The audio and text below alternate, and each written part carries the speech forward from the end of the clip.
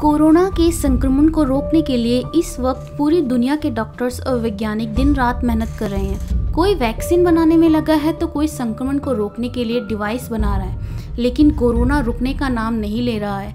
फ़िलहाल संक्रमण से बचने के लिए सैनिटाइजर, साबुन से हाथ धोना और सोशल डिस्टेंसिंग जैसे तरीके कारगर हो रहे हैं। इसी कड़ी में वैज्ञानिकों ने एक डिजिटल सैनिटाइजर तैयार किया है जिसे लेकर दावा है कि स्मार्टफ़ोन की फ्लैश लाइट से कोरोना जैसा वायरस और बैक्टीरिया मारे जा सकते हैं।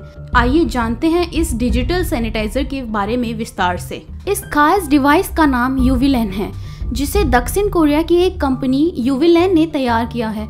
इस डिवाइस की मदद से स्मार्टफ़ोन की फ्लैश लाइट के ज़रिए बैक्टीरिया को मारने का दावा है। यह डिवाइस फ़ोन की फ्लैश लाइट को अल्ट्रा वायलेट लाइट में बदल देती है। बता दें कि सूक्ष्म वायरस को मारने के लिए अल्ट्रावायलेट का इस्तेमाल होता है। इस डिवाइस में एक क्लिप है, जिसकी मदद से इसे फ़ोन के पीछे फ्लैश लाइट पर लगाना होगा।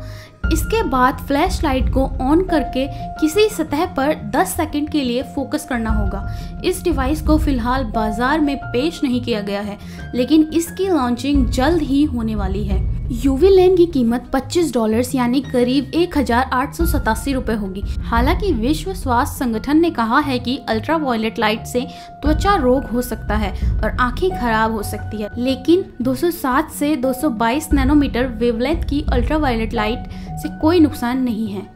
यूवी लैन को लेकर कंपनी का दावा है कि यह डिवाइस 100 फ़ीसदी वायरस मारने में सक्षम है।